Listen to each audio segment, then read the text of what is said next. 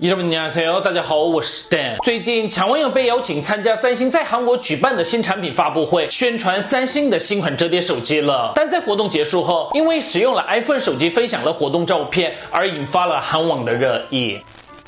在七月二十六号下午举行的发布会，强文将与美国知名演员希德尼斯维尼坐在一起，两个人使用三星新款智能折叠手机的外部摄像头自拍，并将照片装饰在外部屏幕上，向全世界展示了 Galaxy G Play 5增大的外部屏幕。之后，希德尼斯维尼在 IG 分享了与强文娘使用三星手机拍摄的照片，而强文娘也在自己的 IG 线动转发了这张照片，并使用了黑色爱心符号。但有网友们发现，该爱心符号不是三星手机上的表情符号，而是。iPhone 手机上的结果，就有很多网友们指责强文牛要用 iPhone 就不应该发布这些照片，被邀请到三星活动却给 iPhone 打广告了。参加活动应该收取了相当的费用，这样做不会违反了合约吗？如果在 iPhone 活动上使用三星手机分享照片的话，苹果也不会坐视不管吧？应该要更加谨慎。不管有没有代言三星，三星是为了宣传邀请他的，他却用 iPhone 分享照片，在商务关系上确实是很失礼的行为。三星知道了，应该会很不高兴吧？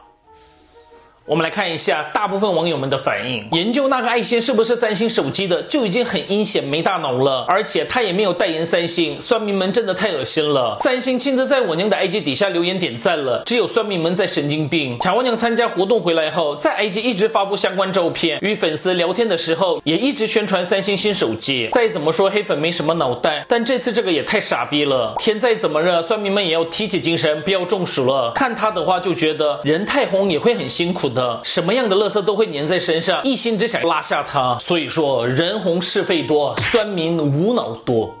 对了，这次 s t a s h 娱乐向美国法院申请，要求 YouTube 提供一个无脑黑粉的个人资料，结果成功拿到了。所以，华语圈的黑粉们、酸民们，好自为之，自生自灭吧。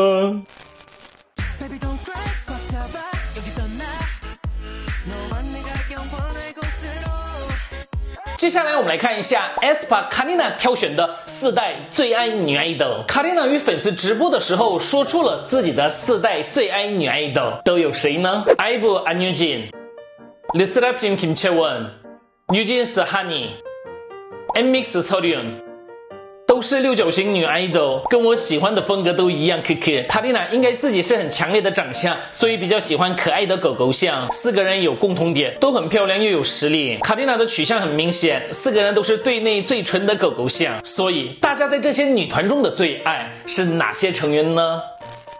最后，我们来看一下 SNS 的正能量。一位爷爷在公司的社群网站上上传了这样的照片：“我是地下铁配送员，公司说如果能获得一万个赞，就会送我跟我老婆去济州岛旅游。年轻人们，请多多帮忙。”过了几天，谢谢年轻人们，公司遵守约定，决定送我们去济州岛了。回来后我会上传消息的，公司会负担所有费用。谢谢年轻人们，因为大家的六十七万个点赞，到达了济州岛。接下来的三天两夜会好好旅。旅游的